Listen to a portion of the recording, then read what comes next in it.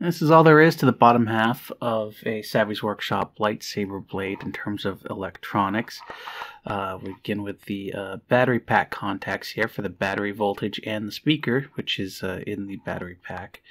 That goes up to a main PCB here. The microcontroller, which runs the whole lightsaber, is under this blob of epoxy. They take the, they manufacture the chip, they probably program it, and then glue it to the PCB, add little tiny gold wires from the uh, the chip, the little piece of uh, silicon that the uh, the chip is made out of, little pieces of wire that go off of that to the PCB itself, and then to protect the wires and the chip, they dump it in a uh, or they cover it in a big blob of epoxy.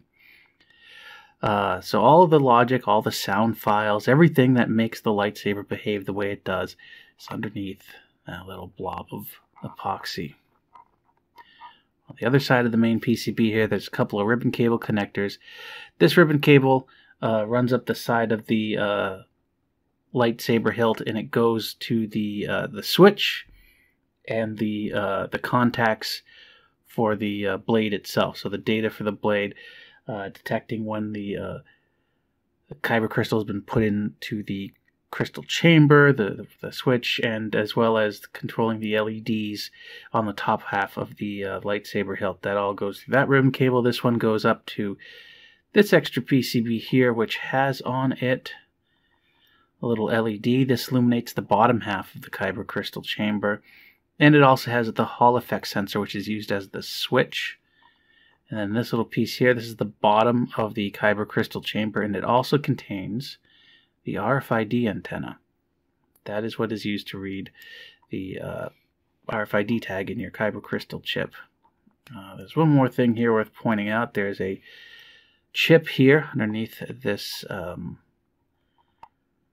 electrolytic capacitor that I can move out of the way, and you can see it is an EM4095. This chip handles all the RFID work, and then the microcontroller uh, communicates through a uh, with this chip to figure out okay uh, scan for a, an RFID tag. Did you find one? If so what's the number coming off of it? And this thing will if it's commanded to scan for an RFID tag. If it finds one it'll spit the number back out to the microcontroller. The microcontroller reads that number and then proceeds with whatever it's supposed to do based off of you know what crystals inserted is there a blade inserted uh, is there a battery pack all that stuff so I have taken a look at this PCB and the Hall effect sensor that's being used to uh, perform or detect when the uh, lightsaber is being switched on and off. And my question is can I replace the Hall effect sensor with a mechanical switch? I've put the PCB in a vise. I've also removed the RFID antenna just so the uh, copper wires, which are really thin and delicate, uh, don't break while I'm working on it. You can see the connection for that are these two holes right here. That's where the RFID antenna would normally go. The connection to the switch uh, PCB is the one up here at the top, right there. And if we get a closer look at that, you will see, if it wants to focus, you see that little white dot there? How do I get in here and show you that? There we go, that white dot right there. That pin there is pointing to what I believe is supposed to be the power pin on the switch uh, PCB, which means if I have the switch PCB connector mapped out, I now have an orientation for this. The connection should match up. So with that said, the second pin from the left, which should be that pin right there, between the, the tips there of the, uh, the tweezers, that pin should be the switch. So uh, I need to first uh, pinpoint that, uh, trace that, that pin 8, or the pin 1, the one with the dot on it. I need to trace that out real quick just to confirm that, yeah, that's going to the power supply. And then, uh, then I need to trace out where the switch pin goes. and see if I can find a test pad. The goal here is to find a test pad that I can solder a wire to for the uh, switch signal that comes from the uh, the switch PCB. And if I can find that and I can put a wire to it, then I can put all this back together and start figuring out um, how I'm going to wire it up. So I have no sense of how well you're going to be able to see this, but I'm going to come in with uh, my probe here and get it on pin 2. And we have a bunch of test pads here. My probe is on multiple pins there. There we go. I'm only attached to pin 2 there on my probe. And you can see that test pad right there. That is the switch test pad. So that test pad right there, that is it. That is what we want to solder to. And it's conveniently conveniently located between two other very close test pads, two very small test pads. So wiring something to that is going to be a pain in the backside. However, at least there's a test pad that we can now wire to. So, next step is putting a wire to it, I think.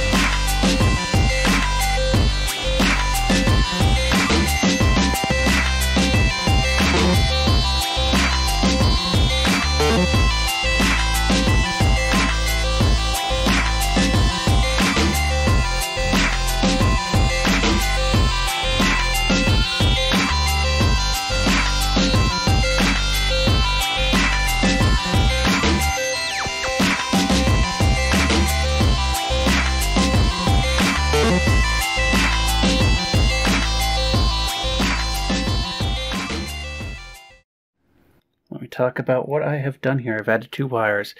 The signal that comes back from the switch PCB uh, goes high when it needs to uh, signify that the uh, the switch has been turned on.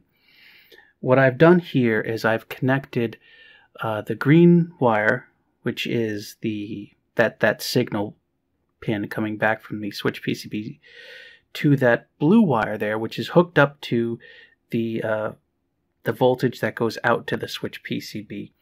And at the other end of these wires is a switch. And so the idea is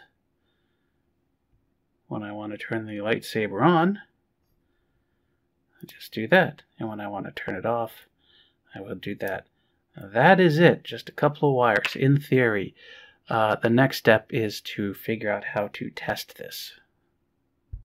So my first idea on how to test this is going to be to hold the contacts to the battery pack uh, with one hand and then flip this switch with the other hand. And in theory, uh, I should hear a crackle noise come out from here, the same as what the lightsaber would do if you tried to turn it on without uh, a blade plugged in or a kyber crystal inserted into the uh, the crystal chamber. So I genuinely have no idea if this is going to work. So I should actually first just make sure that this is in the off position. It is now. I'll just uh, orient this like so. Alright, here we go. Well, I hear a crackle?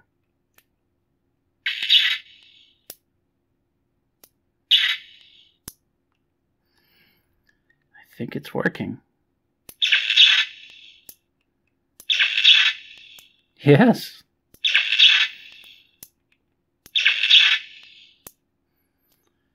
You can absolutely use a mechanical switch. Cool. Of course, it can't just end there, can it? I have to actually hook this back up into the lightsaber and power it on with that switch somehow. Hmm. Uh, I tried to get the bottom shell piece on with the switch, but there's just there's no room. Uh, I would have to drill a hole or something, and I would like to turn this uh, lightsaber back to stock when I'm done with this demonstration. So I'm just not going to connect it, and I need to be very careful that because this just wants to pull apart. Um, so I'm going to grab a, I'll put in a white kyber crystal. I haven't put the battery pack in yet. I kind of want to load this up ahead of time. Oh, see, I'm going to need to push. I'm going to need to push on that to keep the kyber crystal in place.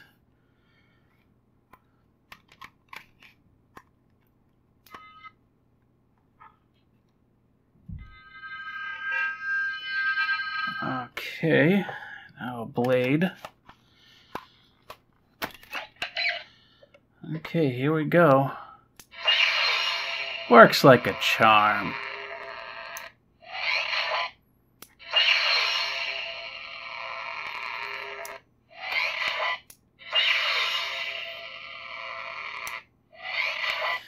So yes, a mechanical switch can be used to control the electronics of a Savi's Workshop lightsaber. And now you know. And now I need to remove it all.